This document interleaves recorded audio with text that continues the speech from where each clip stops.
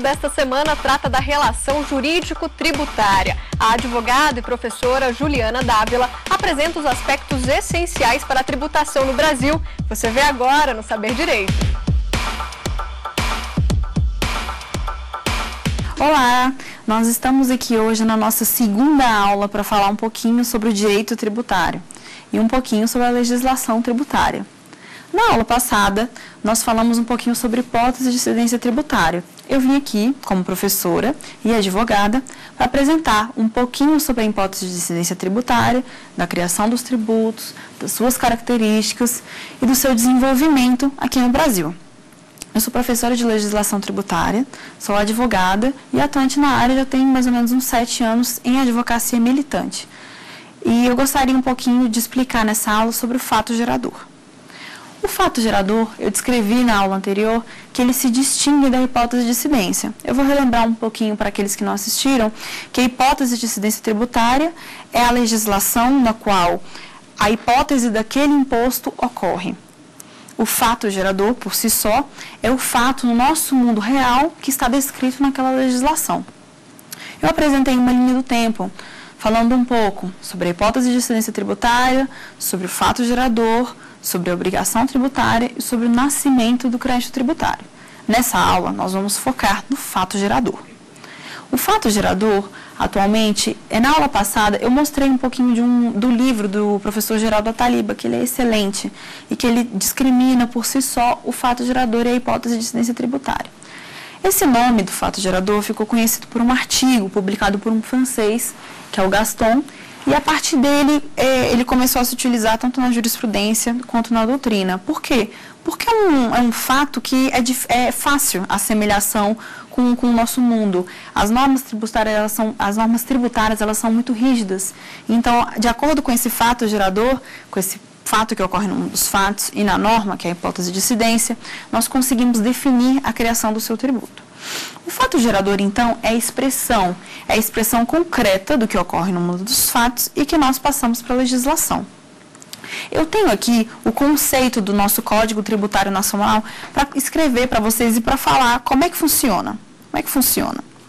No nosso artigo 118 do Código Tributário Nacional, nós temos o seguinte enunciado: a definição legal do fato gerador será interpretada abstraindo-se a validade jurídica dos atos e dos efeitos dos fatos. Ou seja, aqui se prevê normativamente a máxima do pecunia non olet. O que, que significa esse pecunia non olet? Em latim significa o dinheiro não tem cheiro. Ou seja, independente do fato, se ele estiver previsto na nossa norma, ele será, o tributo será criado. E é a partir daí que nós começamos. Eu vou terminar de ler o artigo para vocês. Aqui se prevê normativamente a máxima latina pecuna non olet, ou seja, o dinheiro não tem cheiro, que foi isso que eu acabei de explicar. Segundo a qual prevalecerá no fenômeno da incidência a interpretação economicamente objetiva do fato gerador. Ou seja, não interessa a que tipo de fato ele se refere. Se interessa, interessa sim sobre a hipótese de incidência e qual fato está previsto na nossa norma. Para isso, prevalecerá dizer que a capacidade tributária passiva é plena. Esse é um outro, um outro contexto que está previsto no nosso artigo 126 do Código Tributário Nacional. E é a partir daí que a gente começa a falar do fato gerador. Eu descrevi na aula anterior algumas diferenças sobre o fato gerador e a hipótese de incidência. Dentro dessas diferenças, eu quis dizer que a hipótese de incidência é um valor jurídico, é uma fórmula e o fato gerador é algo diferente, é algo no mundo dos fatos que está inserido na nossa, na nossa fórmula. A hipótese de incidência tem diversas características. Eu gostaria de mencionar que o fato gerador está inserido dentro dessas características. Ela não se demonstra como um todo. Nós temos uma série de hipóteses, de características e de aspectos no qual existe a hipótese de incidência e o fato gerador. Nós temos também uma crítica que o pessoal faz muito ao nome fato gerador. E eu queria começar por isso. Por quê? Porque nós temos é, alguns doutrinadores que criticam a nomenclatura do fato gerador. O que, que significa isso? Significa criticar que no mundo dos fatos o que ocorre não estaria na norma. Esse fato gerador, essa nomenclatura, também é muito confundida com fato imponível ou fato de incidência. Existem mais ou menos umas três nomenclaturas na qual nós podemos citar. É, a maioria dos professores, dos doutrinadores, dos juízes, utiliza fato gerador. E foi a partir daquele artigo, daquele francês, é, que publicou e que colocou essa nomenclatura. Hoje em dia, nem sempre o pessoal utiliza o fato imponível, mas no final das, no final das contas é a mesma coisa. O fato gerador significa o mesmo que fato imponível, só que a diferença se restringe à nomenclatura. Por quê? Porque o, professor Gaston, quando publicou o seu artigo, ele queria subentender que era o fato que ia gerar aquele tributo. Só que, na verdade, essa crítica existe porque o fato imponível, ele descreve que o fato gerador, na verdade, não é o fato imponível. É a hipótese de incidência tributária é a partir de dela que é criada o nosso tributo. Não é a partir do fato, é a partir dela. O fato está contido na norma. São diferenças um pouquinho atenuantes, mas que para nossa nomenclatura, infelizmente, ainda conta. Porque quando falamos fato gerador, nós achamos que o fato de eu ganhar, por exemplo, de acordo com o imposto de renda, é, o fato de eu ganhar é, renda atualmente incidiria o imposto de renda nela. Contudo, na, pela hipótese de incidência tributária e pela legislação, essa minha aquisição de renda, ela tem que estar prevista na legislação. Então, o nosso exercício, que vai de 1 de janeiro até o dia 31 de dezembro, é que muda esse tipo de, de fato, é que muda esse tipo de imposto. Por quê? Não adianta eu prestar um tipo de serviço aqui hoje e oferir renda e não declará-la. Ela precisa estar efetivamente prevista na nossa legislação. E é por isso que nós conversamos assim, e é por isso que nós diferenciamos o fato gerador do fato imponível. Por fim, eles são a mesma coisa, mas eu gostaria de relembrar que a nomenclatura faz diferença nesse caso, porque não é a partir de um fato ocorrido, por exemplo, aqui no nosso estúdio hoje, como de um tributo. Eu volto a falar. O imposto de renda, no qual tem por seu hipótese, por sua hipótese de incidência tributária, aquisição de renda e de proventos de qualquer natureza, a gente não depende dele no mundo dos fatos para criar o nosso tributo nós dependemos de outras coisas que estão previstas na nossa hipótese de incidência. Por exemplo, do nosso patrimônio, dos nossos bens, dos nossos serviços e por aí vai. O fato gerador, ele é diferenciado e por que, que deve haver essa diferenciação? Muitos doutrinadores sequer falam da hipótese de incidência. A maioria dos doutrinadores, eles falam somente do fato gerador. Por quê? Eu vou explicar isso um pouco melhor. Porque o fato gerador, como a nomenclatura é fácil, as pessoas ficam atrelando que o que ocorre aqui no mundo dos fatos, hoje, por exemplo, é, é, o que estará na norma. Contudo, não é assim que funciona. Na verdade, essa norma é invertida. A norma, ela não nasce a partir dos fatos. É o legislador que cria e que impõe que aquele fato se realize. É uma diferença simples, é uma diferença nítida, mas é uma diferença muito real e que eu acredito que ela pode ser aproveitada se nós soubermos diferenciar essas duas nomenclaturas, que é fato imponível, fato gerador. Para tanto, muitos autores nem comentam o fato imponível, muitos, diversos, nem comentam, mas é importante diferenciar para a gente não se restringir somente ao que ocorre no mundo dos fatos. Porque hoje em dia, se nós pegarmos como exemplo, eu só vou pagar o imposto de renda no, no, no, nos meses no qual a Receita disponibiliza, nós fazemos a nossa declaração. Então, isso é um fato. Contudo, esse fato já estava previsto na norma. É isso que eu quero que vocês entendam. A partir de quando nós entendemos sobre a hipótese de incidência tributária, fica muito mais fácil aplicar toda a legislação e fazer todo um quadro comparativo entre as legislações. Nesse caso, o mesmo pode se aplicar, por exemplo, ao ISS. O ISS, que é o nosso imposto sobre serviços, cada fato gerador é gerado por um tipo de serviço. Contudo, essa hipótese de incidência tributária está muito específica na nossa legislação. Se nós temos uma lista anexa à nossa legislação, que é a Lei Complementar 116, no qual ela é uma legislação tributária, no qual ela anexa todos os nossos impostos sobre os serviços que acontece? Nós temos uma hipótese de incidência declarada na norma, mas dependendo de cada tipo do nosso serviço, é que ela será tributada. E é isso eu quero deixar bem claro. Não é o fato gerador que vai gerar a norma, não é só um serviço. Às vezes, um determinado tipo de serviço não é tributado. Às vezes, um determinado local, aquilo não é tributado. Nós temos um exemplo muito bom para dar aqui agora, que é a Zona Franca de Manaus. de Manaus. Existem alguns impostos e alguns tributos que são excluídos da Zona Franca de Manaus. Para que o legislador faz isso? Para fomentar a economia naquele local, para ajudar a economia naquele local, para trazer novos investidores, novos produtores, novos empresários é, para que eles possam montar novas empresas, novos polos é, de indústria, entre outras, entre outras coisas, para ajudar o contribuinte naquele local. Quando a gente vê que nem todos os tributos são pagos naquele local, ou que é um estado muito distante, ou que é algo que, que a maioria da população não está presente. Por exemplo, se nós vamos comparar o estado de Manaus com o estado de São Paulo, o nível de população, o aumento da população é completamente diferente. E é por isso que atualmente existe o um incentivo na Zona Franca de Manaus. Existem diversos tributos, diversas alíquotas diferentes e bases de cálculo que lá não são cobradas. E é isso que é importante trazer aqui para o nosso cenário porque o fato gerador, nós vamos falar um pouco também sobre o aspecto espacial, que é do local, da, localização que eu estou falando. Mas o fato gerador, nesse caso, ele é diferente porque não é o fato deles estarem lá que gera norma. É a hipótese prevista em lei anterior, no qual diz que na Zona Franca de Manaus nós não teremos a determinada incidência de um tributo ou de outro, ou de uma alíquota diferenciada, ou de uma base de cálculo diferenciada. O que muitos legisladores costumam fazer é colocar, às vezes, uma alíquota zero. Uma alíquota zero fomenta o investimento e atrai novos investidores para aquele determinado estado. É por isso que hoje em dia nós temos algumas cidades que são polos turísticos, que são polos industriais, justamente por causa desse fomento da economia. Isso é algo muito bom a se demonstrar aqui nessa aula, porque a gente consegue diferenciar a hipótese de incidência do fato gerador e consegue ver a, as diferenças entre o fato imponível e o fato gerador por si só. Continuando aqui, nós temos alguns professores, alguns livros que tratam um pouquinho sobre o fato imponível. O fato imponível é a mesma coisa do fato gerador, só que eles se diferenciam na sua nomenclatura. Por que, que eu estou explicando isso? Porque, de acordo com a nossa nomenclatura, o fato gerador dá a entender que cada fato gera um tributo. Contudo, não é bem assim que acontece.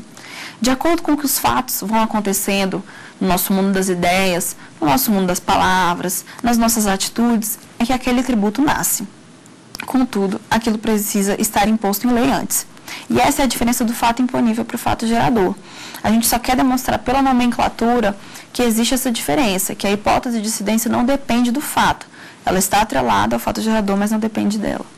Eu também vou prosseguir todas as nossas aulas sempre falando de fato gerador, em que pese a crítica à nomenclatura, eu acredito que é importante a gente manter o contexto da atualidade, no qual todos os doutrinadores e juristas ainda utilizam o fato gerador.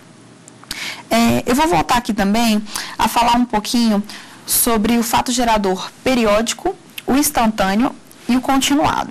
O que, que significa isso? Existem diversos tipos de impostos e todos eles estão previstos na nossa legislação. Alguns tipos de impostos são periódicos. Nós temos o periódico, o instantâneo e o continuado. O periódico é aquele que dá, se dá num determinado período. Nós utilizamos bastante a nomenclatura para isso. Naquele determinado período, o imposto é cobrado, o imposto incide e existe a sua alíquota e a sua base de cálculo. Ele é atrelado a um período específico daquilo. Eu posso dar um exemplo aqui, por exemplo, do IPI, que é o imposto sobre os produtos industrializados. O imposto sobre os produtos industrializados, ele é cobrado a partir do momento em que o produto sai. Então, por exemplo, nós temos aquele determinado período, que é um, um, um período em que o produto sai, em que o produto é vendido, que o produto é comprado. Então, a partir daí é que nós definimos o fato gerador periódico. A seguir, nós temos o fato é, gerador instantâneo. Eu vou ler um conceito aqui para vocês que é muito interessante sobre esse fato instantâneo, é, que é de um jurista excelente. E ele diferencia muito bem o fato gerador instantâneo do continuado. Para isso, eu vou ler aqui para vocês, muito brevemente, só para proceder com a explicação, que o fato gerador instantâneo, a sua realização ocorre em determinado momento do tempo, iniciando-se e complementando-se em determinado período. Ou seja, nós temos aí o imposto de importação, que a gente já conversou, nós temos aí o IPI, que é sobre os produtos industrializados, e nós temos também o ICMS, nesse caso, por exemplo. De acordo com esses exemplos que eu dei para vocês aqui agora.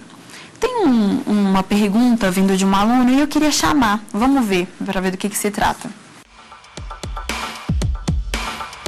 A constituição do crédito tributário corresponde cronologicamente à ocorrência do fato gerador? O que isso significa dizer? Relembrando aquela linha do tempo que a gente havia falado anteriormente, existe a hipótese de incidência tributária, o fato gerador, a obrigação tributária e depois que é constituído o crédito. Independente se do, no mundo dos fatos ocorre um, um, fato de aquisição de renda ou proventos de qualquer natureza, não é a partir dali que é constituído o crédito tributário. Tudo vai depender de outros fatores, de lançamento, da obrigação tributária constituída, ainda existe a reclamação administrativa que nós podemos fazer, a reclamação judicial, entre outras coisas. Para isso, eu até queria fazer uma correção na, um pouquinho antes da pergunta. Eu falei estado de Manaus, mas na verdade é a Zona Franca de Manaus, né? Aquilo tudo ocorre no estado do Amazonas para fomentar a economia. Mas a Zona Franca de Manaus, por si só, é um, é um polo industrial. Virou um polo industrial por causa das alíquotas, das bases de cálculos. Então, só queria fazer, deixar essa correção do, do Estado, porque, na verdade, é a Zona Franca de Manaus. E é até interessante, porque eles criaram esse nome de Zona Franca a partir do fomento da indústria lá. Não foi de qualquer modo que eles criaram esse nome ou a partir de uma ideia qualquer. Eles criaram a partir do fomento à economia, de que várias indústrias foram para lá depois do, do investimento que o Estado fez, depois da, de abaixar todas as alíquotas, as bases de cálculos e excluir alguns impostos. Por fim, vamos voltar aqui para a aula. Nós estávamos falando, então, sobre o conceito de fato gerador. Nós falamos um pouco sobre essa crítica da nomenclatura sobre fato imponível. E nós falamos também sobre que o conceito do fato gerador estava no artigo 118 do Código Tributário Nacional. Inclusive, aqui até mencionar que a legislação, para aqueles estudantes que estão começando, que a legislação é a Lei 5.172 de 1966. Até acho importante frisar algumas das vezes a legislação, porque o nosso código já é um pouquinho antigo, mas até hoje ele continua vigente. É até bom falar isso aqui para vocês, porque independente da criação dos impostos, mesmo que elas estejam previstas na nossa Constituição, previstas na, no, na nossa legislação, a alteração tributária é constante. Por quê? Porque quem tem o poder de legislar sobre o direito tributário são o Distrito Federal, os municípios, o Estado e a União. Cada estado tem alguns tributos que são impostos somente por ele. Impostos não, na verdade, cobrados por ele porque quem impõe é o nosso poder constituinte, a partir da Constituição Federal. Então, voltando, nós falamos aqui um pouco sobre o conceito de fato gerador, sobre as delineações do fato gerador, do fato imponível e sobre a hipótese de incidência tributária. Voltando a essa crítica né, que o pessoal faz à nomenclatura, eu só acho importante definir e frisar que essa crítica, ela, ela, que essa crítica perdão, ela é diferenciada. Por quê?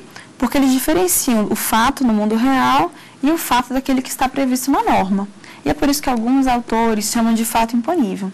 Na verdade, isso é uma crítica bem pequena, porque crítica pequena no sentido de que não são muitos autores que são adeptos a esse tipo de, de nomenclatura. Mas aqui na nossa aula, como eu já disse, eu vou utilizar fato gerador. O fato gerador voltando, ele é dividido em periódico, complexivo ou instantâneo, que é o que eu estava explicando aqui para vocês agora. O periódico é aquele que se dá num determinado momento, num determinado tempo, que pode ser o imposto de importação, o imposto de exportação, pode ser o IPI, porque em determinado momento é, vai ser decidida a sua incidência. Por exemplo, quando importamos um tributo, quando importamos um produto, quando exportamos um produto, quando existe um produto industrializado que esteja na nossa tabela, entre outras coisas. Para isso, eu vou voltar aqui na nossa classificação de periódico, então, instantâneo e continuado. A gente falou aqui do periódico. Eu vou falar um pouquinho, então, do continuado. Continuado é um dos últimos e o pessoal gosta muito de usar o imposto de renda como classificação e como exemplo. Por quê? Porque o imposto de renda, em que pese ele ser anual, ele se dá num espaço de tempo muito grande. Por quê? Porque ele é continuado. Nós temos uma coisa no direito tributário chamada exercício. Exercício tributário. Nós temos um exercício tributário, então, de 1 de janeiro até o dia 31 de dezembro de cada ano. Isso começa desse ano, do ano passado, do ano anterior, e é por isso que nós fazemos uma declaração anual. Ou seja, o nosso fato gerador, relembrando a primeira aula, tem por hipótese de incidência ser una indivisível. O nosso fato gerador do imposto de renda, ele ocorre o ano inteiro, porque nós recebemos renda em todos os anos. Nós recebemos nosso salário todo dia 1 do mês ou no dia 5 do mês. Nós compramos um patrimônio em março. Nós adquirimos um veículo novo em outubro e por aí vai. Por que, que esse fato gerador é continuado? Porque ele se prolonga durante o tempo. Esse, por exemplo, o exemplo do imposto de renda, por exemplo, ele se prolonga de 1 de janeiro até o dia 31 de dezembro. E é por isso que ele é tão importante. E é por isso que ele é um dos mais comentados, um dos melhores exemplos para a gente poder falar desse fato gerador continuado. Na verdade, eu acredito que hoje em dia ele é o único fato gerador continuado, é o imposto de renda. Até porque esse fato gerador, como é que ele se dá de forma mensal? Os nossos pais, ou então os estudantes que já trabalham, enfim, eles começam a adquirir renda. Cada vez que eles adquirem renda ou que eles é, pegam, pegam uma declaração de nota legal abatendo determinado imposto, eles estão colaborando para o fato gerador do imposto de renda. Ou seja, o que, que significa isso? O fato gerador do imposto de renda, por mais que ele seja continuado, nós precisamos comprová-lo, comprová-lo mensalmente. No dia 1 de janeiro ao dia 31 de dezembro, por mais que eu receba todos os meses, nós recebemos, por exemplo, uma declaração anual de toda a nossa renda, ou nós podemos ir montando ela manualmente. Por exemplo, se nós somos um autônomo, se nós dependermos da prestação de serviço de outra pessoa, dependendo do carro que nós compramos, dependendo da casa que nós compramos. E é por isso que isso é um fato gerador continuado. É muito importante frisar isso porque ele é um dos únicos atualmente. Todos os outros impostos, em geral, eles estão restritos ao periódico e ao instantâneo. Por que, que eu estou falando isso? Porque o periódico, como eu já falei, que é o IPI, pode ser o imposto de, sobre exportação, dependendo do qualquer que for, ele tem o período, seu, o seu período é curtinho, o seu período depende de determinado fato, de determinada coisa. Contudo, existem alguns outros tributos que se dão de forma instantânea. É isso que eu vou falar aqui agora para vocês. O fato gerador que se dá de forma instantânea é aquele que ocorre em determinado momento de tempo, iniciando-se e completando-se em um só instante, que foi isso que eu falei, do ICMS, imposto de importação e imposto de exportação. Eu falei também do fato gerador aqui continuado. Esse outro fato gerador que eu falei instantâneo são aqueles que ocorrem a qualquer momento e sobre qualquer hipótese. Pode ser uma taxa quando a gente for comprar determinado produto que já está embutida, são, são vários tipos de impostos e vários tipos dele podem ter o periódico. Mas a maior parte deles é o periódico e não esse instantâneo que eu acabei de explicar. Eu vou falar um pouquinho agora sobre as diferenças entre o fato gerador. Eu vou mostrar aqui para vocês o que, que a gente pode falar sobre isso. A gente também assemelha muito o fato gerador ao crédito tributário. Por que, que a gente faz isso? Porque para que toda relação tributária ocorra, além dela estar prevista na norma, como eu falei antes, na hipótese de incidência tributária, ela pre precisa estar prevista no mundo dos fatos. O que, que significa isso?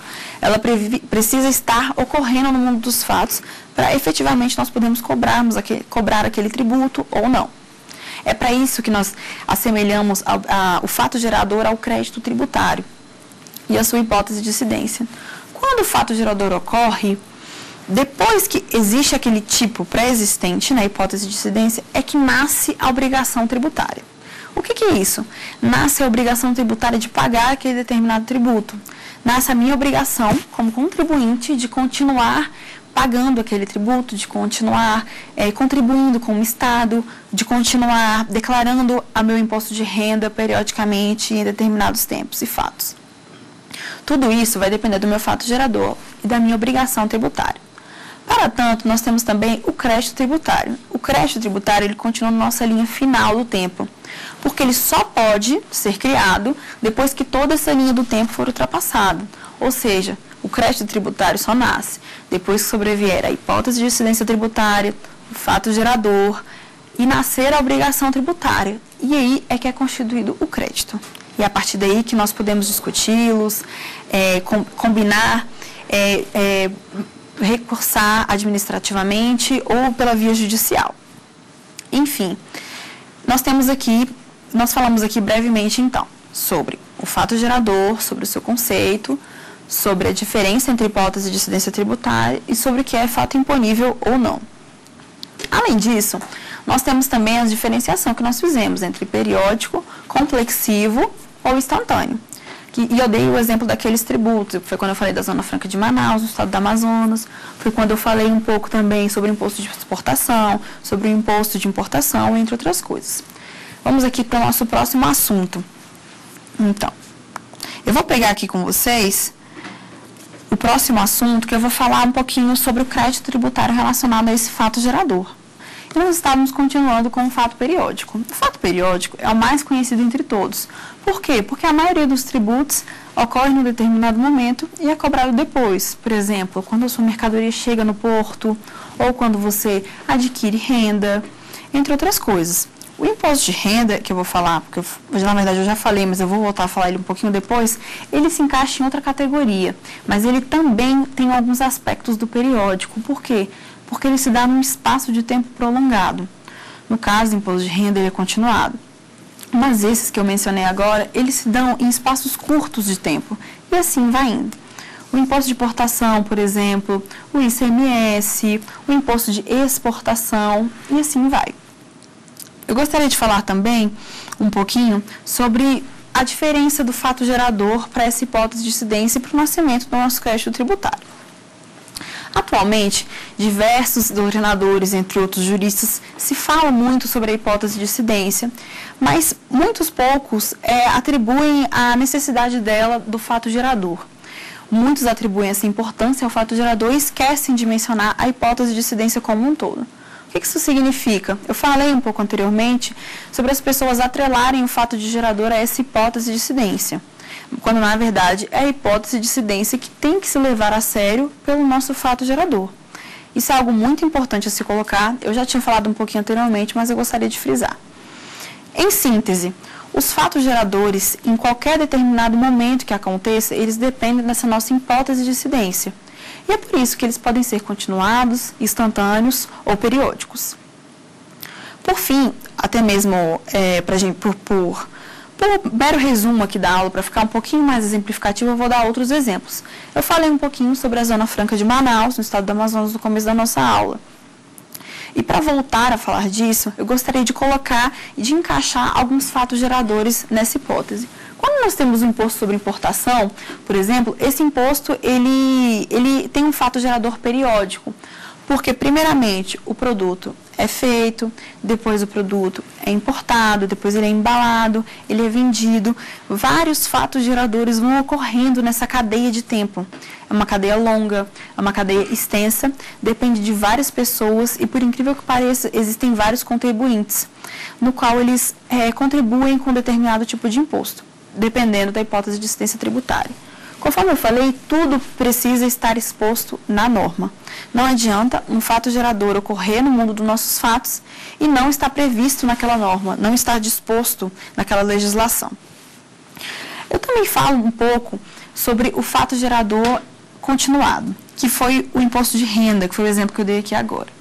Por exemplo, o imposto de renda, por ele ser continuado, o fato gerador dele se torna até demasiadamente complexivo, porque ele exige, são vários fatos, são vários fatos ocorrendo no nosso mundo do direito, no nosso mundo jurídico e firmados pelo legislador.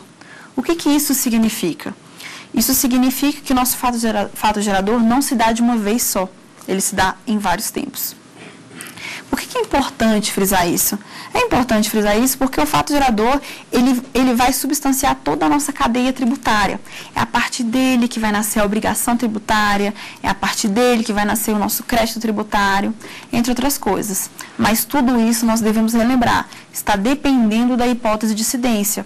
O fato gerador, ele não nasce sozinho, ele não está distrito sozinho ele depende da hipótese de incidência, da previsão legislativa. Então, por exemplo, se eu vendo uma simples mercadoria aqui no nosso estúdio hoje, e ela foi feita, manufaturada por mim, fabricada por mim, e eu vou vender aqui do nosso estúdio.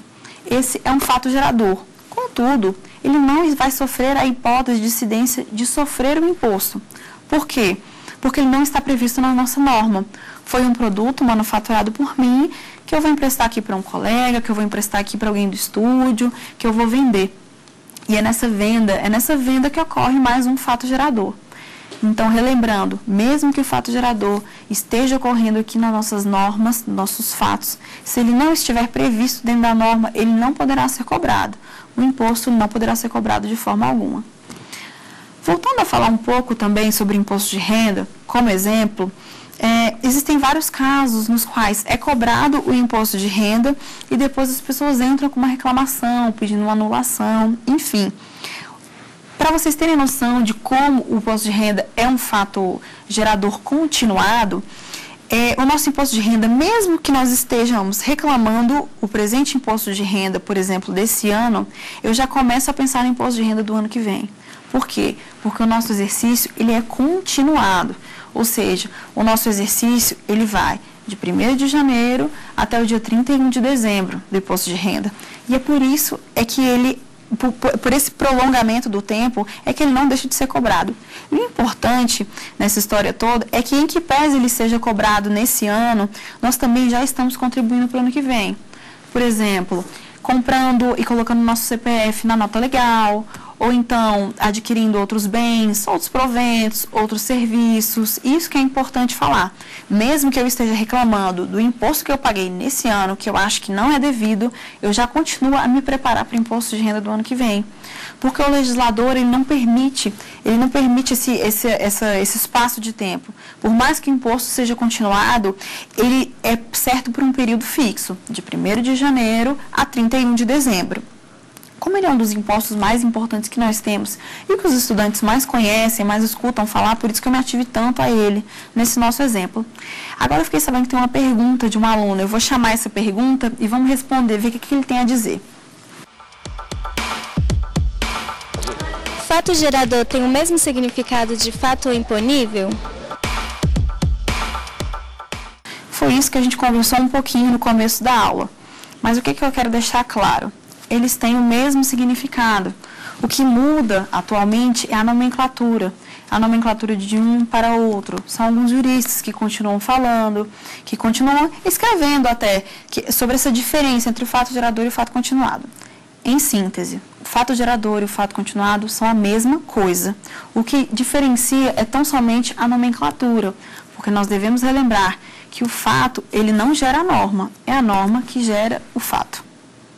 Mas para isso, o fato tem que ocorrer no nosso mundo do direito. E é por isso que nós estamos aqui conversando hoje, para explicar um pouquinho melhor esses assuntos, para dar exemplos reais e práticos sobre o que realmente acontece no direito tributário. Bom, eu vou voltar aqui a falar do imposto de renda que nós estávamos falando um pouquinho anteriormente. E eu vou dar alguns exemplos um pouquinho mais práticos para vocês.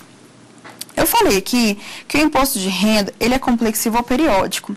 Por quê? porque ele se dá num espaço de tempo muito longo, muito longo. E esse espaço de tempo, nem sempre ele é firmado, ou seja, ele é, é mantido por, pela sua declaração. Era isso que a gente estava explicando um pouquinho anteriormente. Independente do tempo em que ocorra o fato gerador, eu continuo prestando as declarações do próximo ano ou do ano anterior. Isso é uma coisa que nunca vai mudar, porque ele se prolonga durante um tempo, mas ele tem um período certo para começar e um período certo para terminar. E é por isso que é tão importante essa nossa classificação.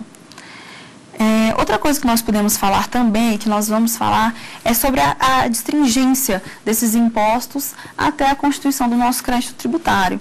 Por quê? que a constituição do nosso crédito tributário depende dos fatos geradores, depende dos fatos imponíveis, depende de tudo o que está previsto na norma. E é por isso que ela é tão importante. Em que pesa a diferenciação e classificação dos tributos, nós temos também a hipótese de incidência tributária, que ela vem da norma e no qual ela faz gerar todo o crédito tributário. A partir do momento em que a obrigação tributária ela nasce, a partir do momento em que ela é criada, é que nós vamos diferenciando ela do crédito tributário, do fato gerador e da hipótese de incidência. Por fim, de acordo com o imposto de renda, nós temos vários tipos de fatos geradores naquele mesmo imposto. Por exemplo, e é o que nós temos aqui nesse caso. Eu vou um, mostrar aqui para vocês também. Tem os outros dois livros que eu trouxe aqui para mostrar para vocês, que são sobre professores que falam sobre esse mesmo tema. Um deles é o professor Paulo de Barros Carvalho e o outro professor é Hugo de Brito Machado. Além do professor Geraldo Taliba, que também fala sobre a hipótese de incidência tributária. Por fim, quando se dá essa constituição do crédito, nós temos que nos atentar para que a constituição do crédito é, tenha na sua exegese, ou seja, no seu, na sua fundamentação, nos seus, nos seus preceitos, toda a ordem cronológica da criação do tributo. Por quê? Porque o tributo está previsto no artigo 3 do nosso Código Tributário Nacional. Por que eu estou falando isso? Porque a hipótese de incidência tributária ela tem que respeitar toda a Constituição feita no, tributo. Ou seja, o tributo deve ser, como nós já falamos aqui, pecuniário, deve ser pago em moeda, não pode ser pago em serviços. E há uma dica muito importante: a gente atrelando esse não pagamento em moeda, a gente evita a duplicidade em quando forem falar de alguns impostos, por exemplo. Ah, eu queria pagar o meu imposto, eu vendo mercadorias e eu queria pagar o meu imposto dando uma mercadoria para o Estado. Não é possível fazer isso. Atualmente, a nossa legislação veda completamente isso. Praticamente para todos os tipos de serviços e todos os tipos de produto. E é por isso que o legislador quis deixar isso tão expresso. Assim, de certa forma, é até importante que ele deixe, para não ocorrer esses julgamentos ambíguos de querer trocar, é, trocar produtos, trocar serviços, trocar bens, entre outras coisas. Contudo, de todo modo, o que, que é importante? Quando nós vamos nos ater às reclamações tributárias, às reclamações judiciais, nós precisamos nos ater à constituição do crédito tributário. Ou seja, depois que esse crédito é constituído, depois que ocorrem os fatos geradores, é que nós podemos, que é constituído o crédito tributário, é que nós podemos reclamar dele. O que, que significa reclamar dele? Professora Juliana, eu não concordo com o pagamento desse tributo. O que, que nós vamos fazer? Nós vamos interpor uma ação judicial, nós vamos interpor uma reclamação administrativa para questionar esse tributo. Ocorre que esse questionamento precisa ser bem, muito bem fundamentado, e é por isso que ele se baseia no artigo 3 do nosso Código Tributário Nacional.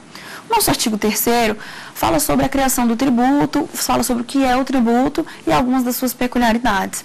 E é por isso que eu volto a dizer, a nossa reclamação tem que ser até a constituição do tributo, e é por isso que seguir um recurso. Você não guia um recurso pelo que você acha que você deve ou que você não deve. As suas reclamações têm que ser até a veracidade, a legalidade, ao princípio da anterioridade, a prestação tem que ser compulsória, ou seja, ela é obrigatória pelo Estado. Se, ela for, se um tributo for imposto para você de forma arbitrária, de forma completamente discricionária por algum representante de uma entidade, de um órgão, isso é vedado pela nossa legislação. E é a partir daí que nós podemos questionar os nossos tributos. É a partir daí que nós podemos questionar a sua incidência ou não. Isso é até muito bom a gente falar disso, porque poucas pessoas falam sobre os questionamentos, sobre as dúvidas, sobre as ações judiciais, mas é importante frisar que todas as suas reclamações elas têm que se ater ao mundo dos tributos, ao artigo 3 do CTN, tem que partir de lá. Se você conseguir partir do artigo 3 do CTN e respeitar todas as suas hipóteses, nós conseguimos facilmente elencar isso à hipótese de incidência tributária. Por que, que eu estou falando isso? Porque não adianta nada nós reclamarmos, por exemplo, dessa troca, de eu querer trocar com o Estado serviços ou bens em forma de tributo. Eu preciso pagar o tributo e reclamar dele. Tem alguns ainda que não permitem, é, a, que permitem, na verdade, a reclamação antes do pagamento. Então não tem problema nenhum foi o que a gente conversou a respeito do lançamento tributário. O lançamento tributário, que é aquela atividade administrativa plenamente vinculada. É mais uma característica que está no nosso artigo 3 do Código Tributário Nacional. Bom, assim eu vou finalizando a aula, nós vamos começar o, o final da aula agora, para se ater às perguntas dos alunos e também ao final da nossa matéria. Resumindo aqui, além de nós vermos as características do tributo, nós vimos também a diferença entre o fato gerador complexível, periódico e continuado. Para isso, eu queria frisar que dependendo de cada fato gerador, existe uma obrigação tributária diferente. Isso não, é, isso não vai ser diferente nem com a obrigação tributária, nem com o crédito tributário. O crédito tributário, por mais que ele tenha uma nomenclatura única, ele é diferente ele é diferente pelo seu fato gerador, ele é diferente pela sua obrigação tributária. Ou seja, não é porque o imposto se trata de imposto de renda que nós vamos tratar o resto como a mesma obrigação tributária. A obrigação tributária é a mesma, porém, a cobrança do tributo ela é diferente, porque ela tem que respeitar a constituição daquele crédito tributário. Alguns créditos dão de forma diferenciada, tem aspectos diferentes, tem características diferentes, e é por isso que cada tributo é diferenciado. Isso se dá até mesmo pelo fato de que a competência para legislar sobre direito tributário é muito ampla. É muito ampla no sentido de que qualquer estado do nosso Brasil, qualquer, pelo Distrito Federal mesmo, a União que representa o nosso, o nosso Brasil como um todo, cada um deles pode legislar sobre alguns tipos de tributo. E é por isso que existem os tributos e os impostos, na verdade, estaduais, federais, municipais e Distrito Federal. A divisão feita por esses tributos leva em consideração o nosso fato gerador. Por quê? O fato gerador, ele vai depender de cada estado, ele vai depender de cada momento, ele vai depender de onde o legislador colocou aquele tributo ou não, que foi o caso da Zona Franca de Manaus, que nós falamos anteriormente, do estado de Amazonas. Então, por exemplo, se todos os fatos geradores são diferentes, em que pese gerar uma obrigação tributária, em que pese gerar um crédito tributário, essa, esse desvio, essa, essa, esse nosso crédito, essa nossa obrigação tributária fica diferenciada. Por quê? Porque a partir de cada tributo é que se gera aquele crédito tributário em específico. O que eu quero dizer com isso? Que os créditos eles são diferentes. O crédito do imposto de renda é diferente, o crédito do imposto de importação é diferente, do imposto de exportação é diferente e por aí vai. Não esquecendo também que todos esses créditos ainda são diferentes das penalidades, que o que nós falamos no começo da nossa aula e na nossa primeira aula. Nós devemos nos ater às diferenças entre penalidade e multa multa pagadas pelos tributos e os impostos em si. Então, o que, é que nós temos? Nós temos os impostos, nós temos a multa. Eles são diferentes e eles geram obrigações tributárias diferentes e créditos tributários diferentes. O que se dá também na forma do seu pagamento, na forma da sua constituição e dependendo até mesmo do tipo de reclamação, tanto administrativa quanto judicial. Nós temos uma pergunta aqui do nosso aluno e eu queria ouvir. Vamos ver o que ele tem para falar para a gente. O imposto de renda tem seu fato gerador por periódico ou complexivo. Isso volta naquela discussão que nós conversamos anteriormente. O que, significa isso? O periódico ele se dá num longo espaço de tempo. O complexivo é completamente diferente. Então, o imposto de renda, nesse caso, ele é periódico. Ou seja, ele começa no dia 1 de janeiro e termina no dia 31 de dezembro. E por aí vai dependendo de cada imposto, nós temos outros tipos de impostos continuados e periódicos também, que eles vão se alencando no decorrer do tempo. Por fim, é, voltando a falar do nosso, do nosso aula, nós estávamos falando sobre a constituição do crédito tributário. A partir de quando nasce a nossa obrigação do crédito tributário, e até levando em consideração essa pergunta do nosso aluno, feitas essas divisões, não significa que o nosso crédito tributário vai ser o mesmo, que a nossa obrigação tributária será a mesma. Por que eu estou falando isso? Porque de acordo com o tempo, com que o tempo vai passando, os fatos geradores, eles vão mudando. E de acordo com cada tributo, nós temos um fato diferente. E é daí que nasce o crédito tributário e a obrigação tributária. Nós temos por si só um fato é, muito elegante, mas que ocorre em diversos momentos. Essa, por que eu falo elegante até? Porque é a mesma nomenclatura da hipótese de incidência tributária nós temos a mesma legislação, com o mesmo fato, com diferentes hipóteses na qual podem incidir impostos, tributos, taxas, impostos, entre outras coisas qualquer. E é isso que nós devemos respeitar. o fato gerador desses tributos, a nossa hipótese de incidência, que gera uma obrigação tributária e o nosso crédito tributário. A partir daí, então, eu vou fazer um, um breve resumo aqui da nossa aula, para a gente ir se caminhando para o final da aula e fazer um resumo sobre ela também. Nós começamos falando um pouco na primeira aula sobre o conceito de tributo. Nós falamos das suas atividades, nós falamos dos seus, dos seus preceitos principais e primordiais. Nós falamos da, da moeda, nós falamos da atividade administrativa plenamente vinculada, do princípio da legalidade, da anterioridade, da, que, que, a, que o imposto é diferente é, de uma sanção, que a multa é diferente do pagamento do imposto, e era isso que nós estávamos atrelando ao crédito e obrigação tributária. Vocês têm que entender que o crédito só nasce após que a obrigação surge no nosso mundo real e no nosso mundo jurídico. Essa obrigação ela vai surgir a partir da ocorrência do fato gerador.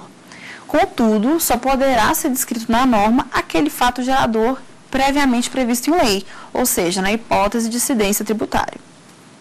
Eu queria continuar aqui também falando um pouquinho sobre o que nós falamos na primeira aula, mas eu vou resumir a aula de hoje. Fato imponível e a diferença entre fato gerador. conceitualmente eles são a mesma coisa, mas a nomenclatura deles é diferente. Nós falamos também sobre o conceito de fato gerador, que é a expressão no nosso mundo fenomênico do que ocorre na legislação tributária, do que o legislador previu em lei. Esse é o conceito mais assim, simples que nós podemos falar do fato gerador, porque existem outros. Nós, pode, nós falamos também um pouco sobre o conceito da hipótese de incidência tributária. Por quê? Porque a hipótese de incidência tributária é uma fórmula. É uma formulação na qual nós colocamos na legislação e a partir daí é que o imposto é cobrado, é a partir daí que o imposto é criado. Enfim, a partir de tudo isso é que nós vemos a diferença da linha do tempo entre hipótese de incidência tributária, entre o fato gerador ou o fato imponível, a obrigação tributária e o nascimento do crédito tributário. É a partir daí que nós constituímos toda e qualquer relação jurídico-tributária, e esse é inclusive o nome do nosso curso. E é por isso que ele se atua assim. Por que, é importante saber esses fundamentos, esses fundamentos básicos, o nascedouro do direito tributário? Porque a partir de aprendida a hipótese de incidência e suas reais é, formulações, suas reais lógicas, como funciona a criação do tributo, como funciona, como nasce esse fato gerador, é que nós podemos criar um tributo, é que nós podemos cobrar um tributo e principalmente reclamar daquele tributo. É a partir daí que nós fizemos essa aula é, bastante ilustrativa e dividida por tópicos para esmiuçar o tema, porque eu quero que vocês entendam a simples diferença entre a hipótese de ciência tributária, o fato gerador, o crédito tributário e a nossa obrigação tributária que nasce a partir daí. Nós tivemos como perguntas importantes se o imposto de renda ele é continuado, complexível ou periódico, que foi aquele que nós já conversamos, que vai de 1 de janeiro até o dia 31 de dezembro. Nós conversamos sobre outros impostos que se dão em determinado curto período de tempo, tal como o imposto de importação, o imposto de exportação, o imposto sobre a circulação de mercadorias, entre outras coisas. Nós conversamos também que o imposto de renda é o único que ainda prossegue nesse, nesse grande período de tempo, que é de 1 de janeiro a 31 de dezembro. Nós falamos também do fomento à indústria nacional do estado do Amazonas, onde nós temos a nossa Zona Franca de Manaus, onde nós falamos abertamente sobre as bases de cálculo, sobre as alíquotas, entre outras coisas. Enfim, eu gostaria aqui de finalizar a nossa aula. Eu espero que os conceitos tenham ficado pragmatizados na cabeça de vocês, porque é muito importante saber essa diferença para a nossa criação do tributo, para a gente definir as características e para a gente poder dividi-los. Não adianta nós sabermos a definição e a divisão de um imposto, de uma taxa, de um imposto estadual, federal, municipal ou o que quer que seja, se nós não soubermos como ele é criado, se nós não soubermos de onde vem o direito tributário. E é por isso que nós estamos finalizando a nossa segunda aula do dia. Foi um prazer estar com vocês e eu convido você também para a nossa terceira aula. A nossa terceira aula era falar sobre obrigação tributária e nós iremos continuar depois falando sobre os aspectos temporais, materiais, entre outras coisas. Muito obrigada. Ficou com dúvidas sobre a matéria? Então mande um e-mail para a gente, é saberdireito.stf.jus.br você também pode estudar pelo nosso canal na internet. O site, ó, anota aí, www.tvjustiça.jus.br.